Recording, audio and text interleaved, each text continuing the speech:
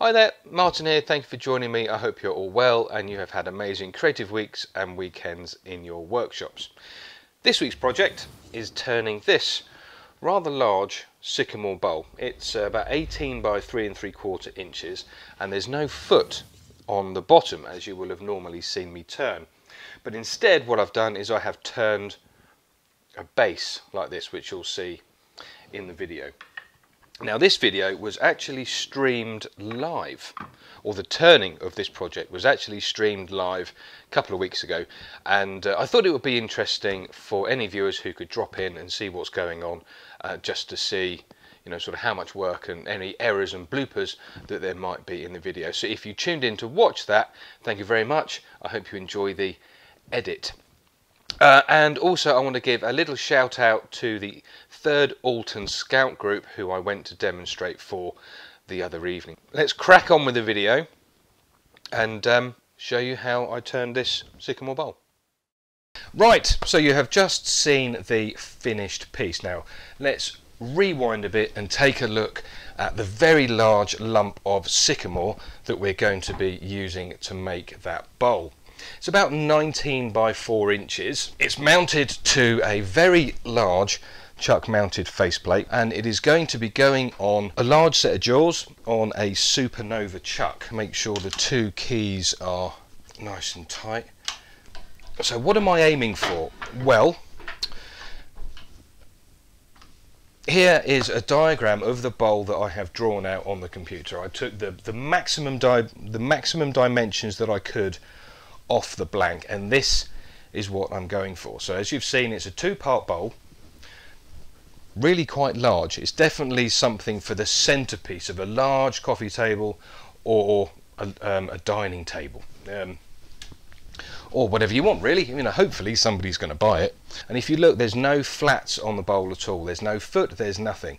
But there will be a very very small flat on the very very bottom of the bowl which means you can take it off and you can use it as a decorative bowl or probably even a utilitarian bowl off to one side whilst the base itself is essentially a tray this way and it will be a tray the other way as well. So it's a really multifunctional piece and hopefully well hopefully you would have seen it's a really attractive piece. But as I'm recording this I've got no idea how it's going to turn out.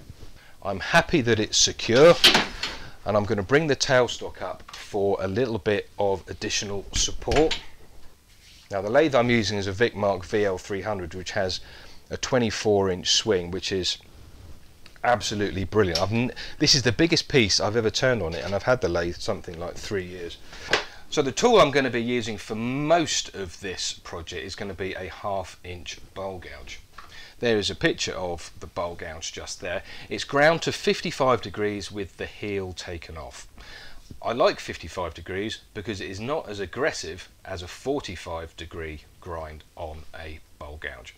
And I prefer that, you know, and I can also get a perfectly good surface using a less aggressive tool, so long as, you know, it's presented correctly and all that other good stuff.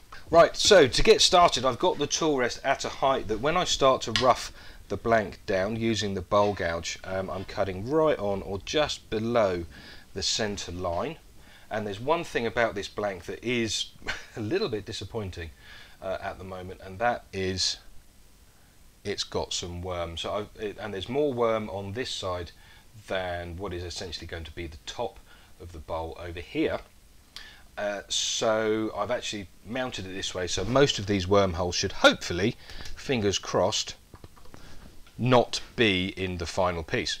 I'm going to just start to round this blank down ever so slowly.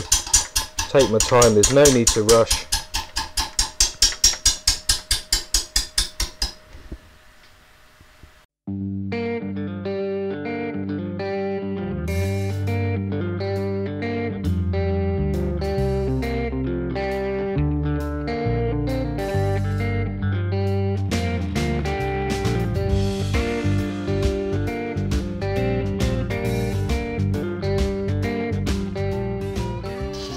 Okay, right, so there is a mark for the tenon, which will perfectly fit the chuck that the, uh, that the faceplate is on at the moment. Now, the next bit is pretty much pure butchery. Um, I, I need to take off and use a smaller tenon as I possibly can. I'm going to take off all of this down to about 5 mil, something like that, 5, 6. Have a look, see if I'll be happy with a tenon that small for a piece this big and go with it from there. Again, I'm not going to rush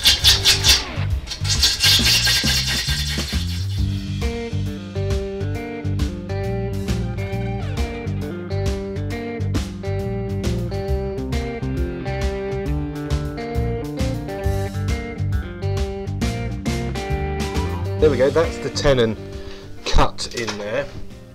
Right, so this is the shape of the bowl, roughly, that I want to get. Now, it's not going to be exactly the same as that because I think I'm going to have to lose a little bit on uh, on the height of the piece compared to that drawing. But hey ho, it is what it is.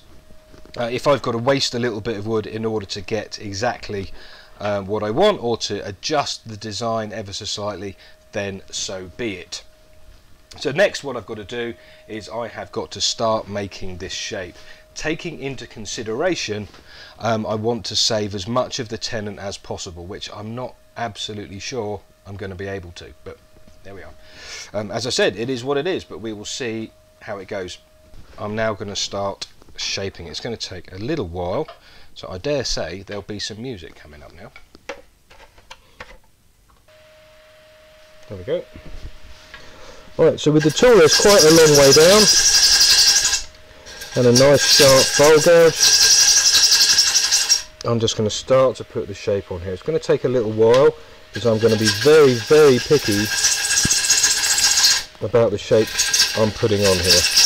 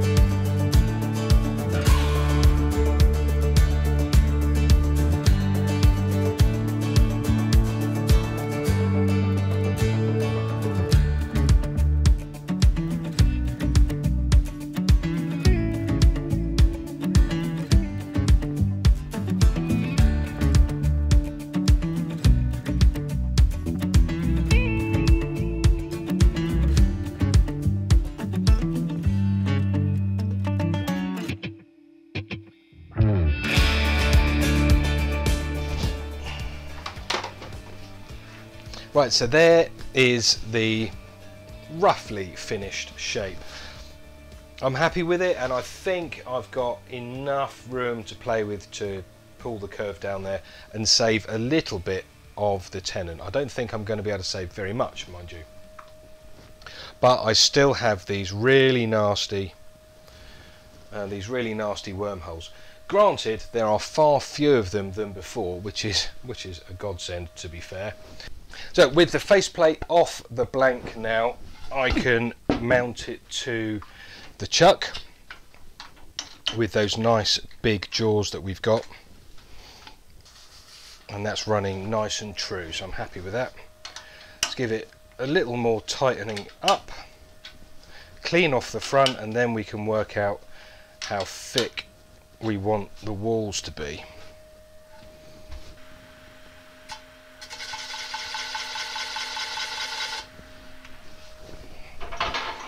Okay, now there's the wall thickness that we're going to be going for.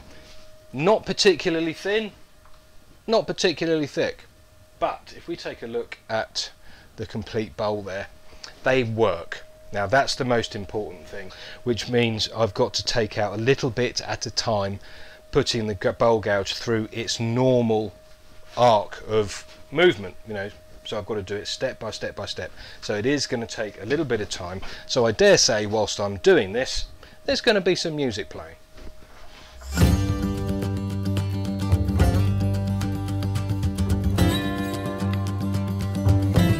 Whilst going through this process I was using a combination of a half inch bowl gouge for the hogging out cuts and I used a 3 8 bowl gouge for the finishing cuts.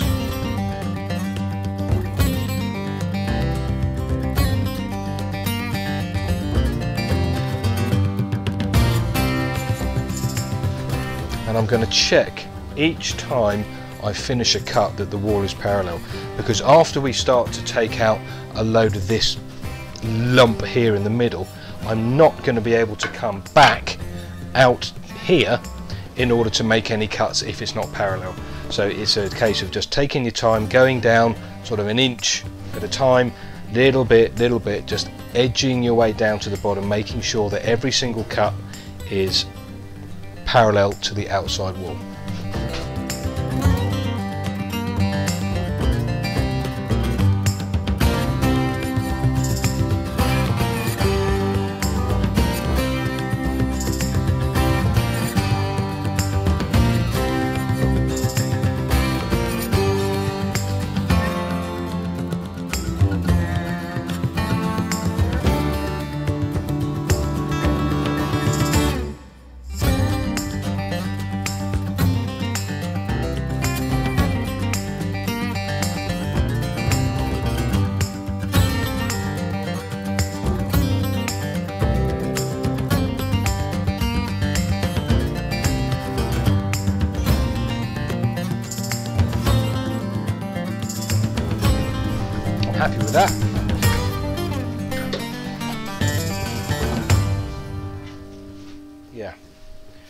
fairly uninteresting piece of wood.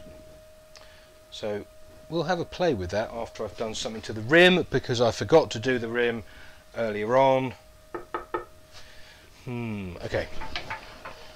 I'm gonna I'm gonna do what I normally do on bowls for the last oh certainly for the last year at least I've actually been putting a little scallop on the on the bowl rims rather than just having them completely flat and we'll do that with the 3 8 the tool rest is at a good height so I'm going to take some very light cuts just to put a little scallop on that rim right so now we've got to do some sanding and then we're going to do some colour hmm. some of you aren't going to like that but wait till you see what I have in mind. Although you would have already seen the finished piece at the beginning of the video of course.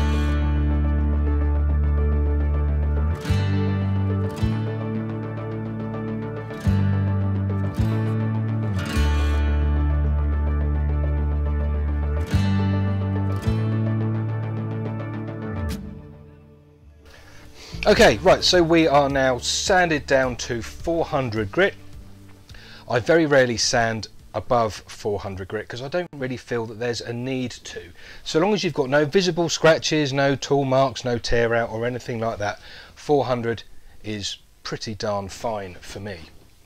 Now, this is a very large, pretty-ish, but otherwise boring piece of wood. There's no figure in it, so really it's it needs something to pep it up just a little bit.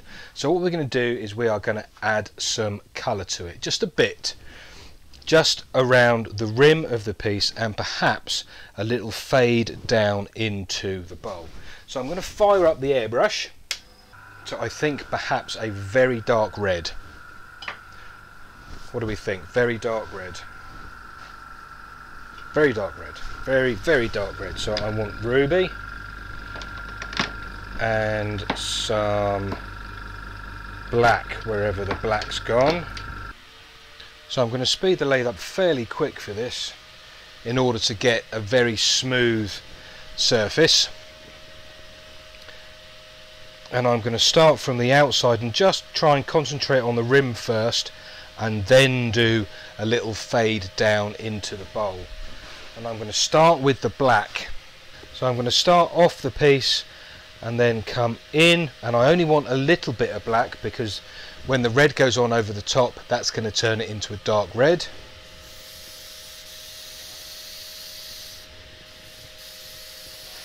I'll fade that down just inside the bowl a little bit. Now we'll switch over to the ruby and get that faded down there too I'm going to put a coat of oil on at the end. I'm not going to put any oil on it now. The simple reason being, in a minute, I need to reverse mount this onto a vacuum chuck. And if I've got oil in there, if I've got oil in there that hasn't gone off, the vacuum chuck is actually going to pull that oil out of the wood and leave me with perhaps a, um, a surface that's going to be more difficult to finish. Right, so the vacuum chuck is now correctly mounted to the lathe, ready to receive the piece. Now something else I've done here is I have actually left the piece mounted to the chuck and inserted an M33 3.5 mil threaded number 2 Morse taper which fits into the tailstock which allows me to line the piece up perfectly before I switch the vacuum chuck on and take everything away. And I'm really only working on this bit. So for, for the most part I can use a live center just to give me a little bit of support here. And then all I need to do is just work around there just to put the rest of that curve on. Okay right. So I'm using a 3 8 bowl gouge. And I don't want to take all the tenon off all at once because I need to I need to remember I've got to run this curve down there. So I don't want to be taking off too much of the tenon all at once.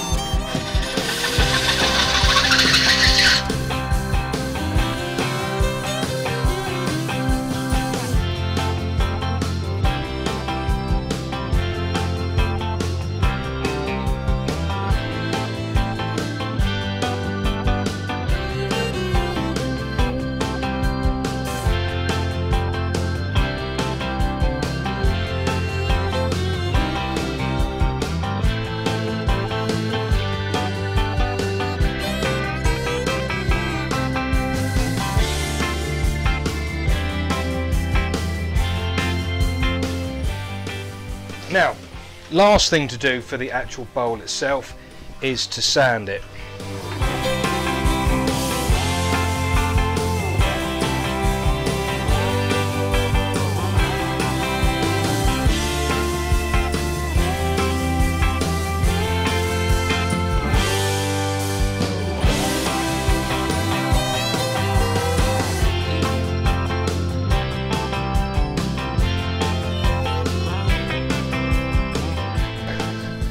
There's the piece, we've got a nice tiny little flat on the bottom and we've got a really nice curve running around here. And I just think a simple oil finish is all that's going to be needed.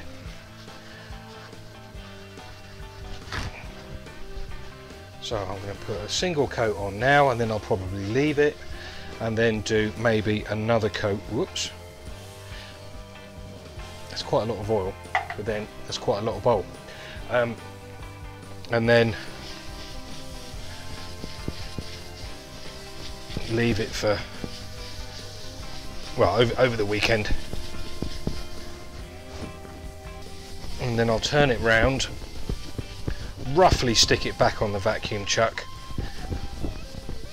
just to put the oil on the inside. Hmm. okay. This is going to be a little bit interesting. There is a little mark on the inside there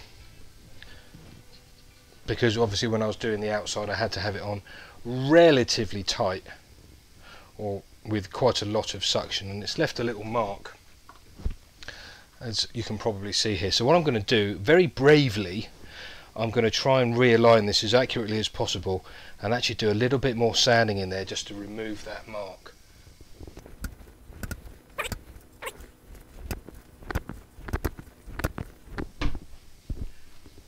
I'll do. Just put a little bit more suction on there. Hope for the best. Now the other thing this will do by doing a little bit more sanding on the inside there is just take off some of that colour that's faded quite a long way down because whilst I was sanding the outside of it I was thinking to myself you know what it would be nice to remove just a little bit of this colour that's on the inside so put the mask back on and we'll do a little bit of sanding on the inside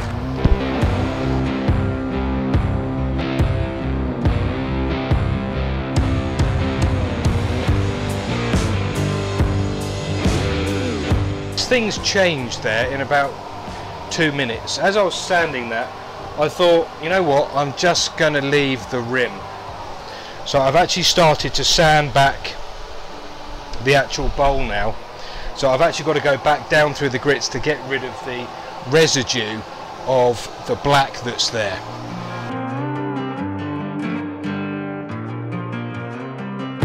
This is one of the lovely things about creative, well, creative turning because if you don't like it you can turn it off you can sand it off most of the time to either do it again or change what you've done and that's exactly what we're doing here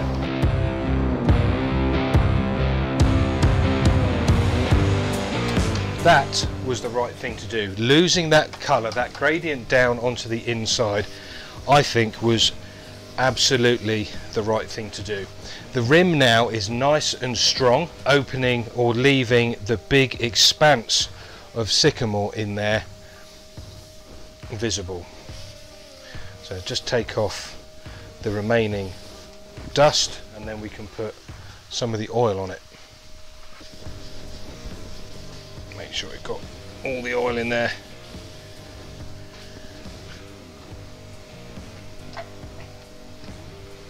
yeah. That was definitely the right thing to do. Definitely definitely. So switch off the vacuum chuck. Give a little wipe over the back with the oily towel. And there is the bowl part finished yeah very happy with that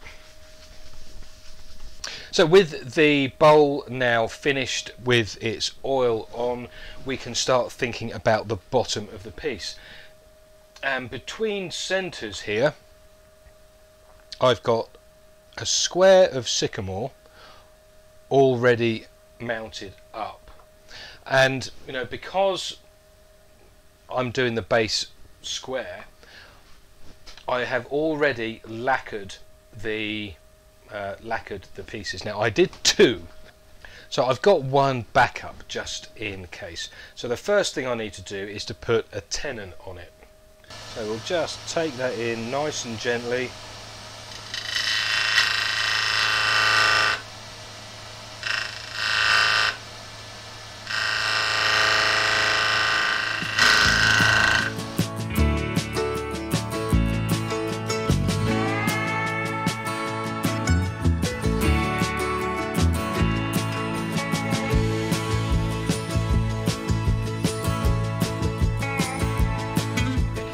see that the base has got scalloped sides. Now that's because when I did the design originally, I was going to do it round.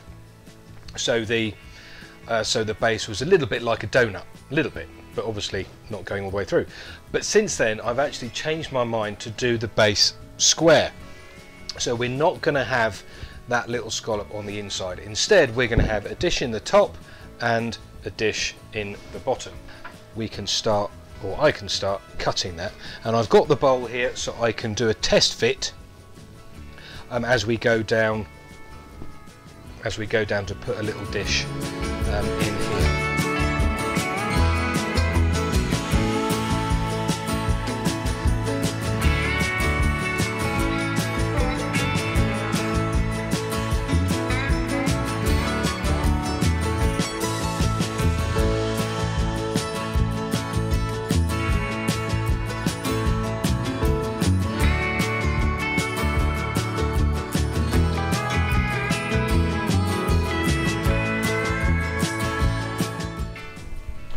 need to reverse mount it now onto a three three inch um, vacuum chuck so I can take the tenon off.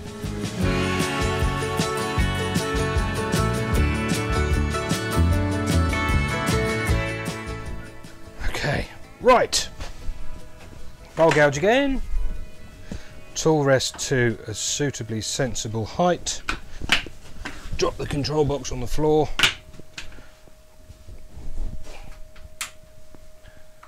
And off we go. Get it spinning nice and quick. Now you wouldn't normally use a vacuum chuck this fast, but with the tailstock in for a bit of extra support, I'm quite happy to. Light cuts.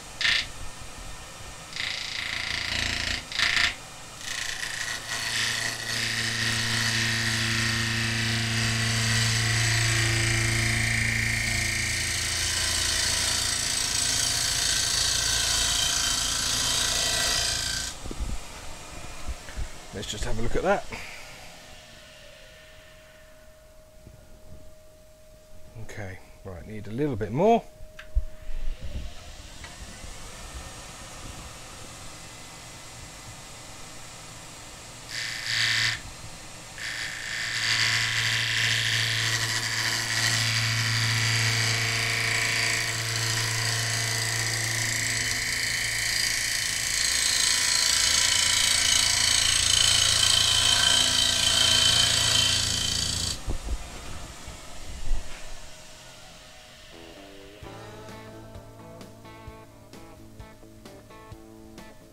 Yeah, that's nice. I think I think I'm happy with that. Yeah, now I can start working tenon off.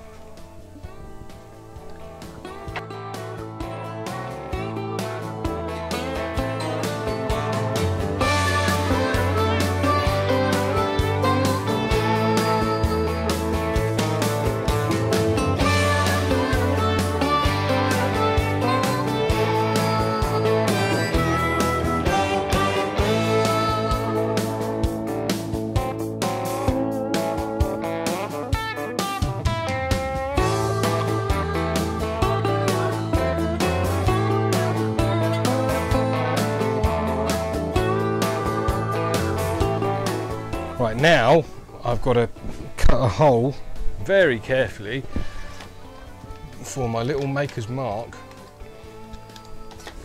And I'm just really hoping there's enough. There should be. I have actually left a little mound here.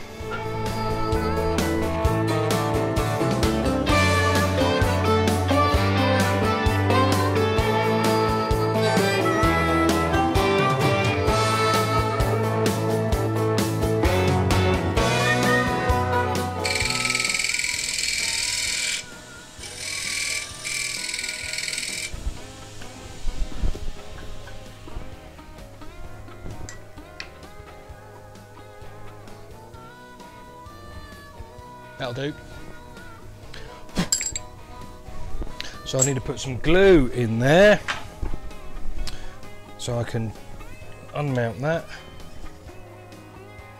Yeah, I'm going to put a little bit of sealer in there just so the glue doesn't soak through into uh, onto onto this face here. And here is the finished piece. I'm really happy with how it has turned out. The back is that really lovely continuous curve with a little flat on the bottom and the wormholes there, although they're not overly overly attractive, I'm very pleased I didn't do anything to try and hide them or even to try and fill them. I think just leaving them natural was the right thing to do. The rim looks really nice with that single band of colour and again I'm very happy that I did actually make the decision to go and take away the gradient that was going down into the bowl. The base I'm equally happy with. The marbling kind of um, spalting there in the in the piece looks fantastic and where I was very careful to have high speed the edges of uh, the edges of the lacquer didn't tear out at all and the back with my maker's mark in is also really nice. Well, thank you very much indeed for watching. I do hope you found the video interesting and inspiring, and maybe you'll have a go at something like this yourself. Maybe bigger, maybe smaller, I don't know.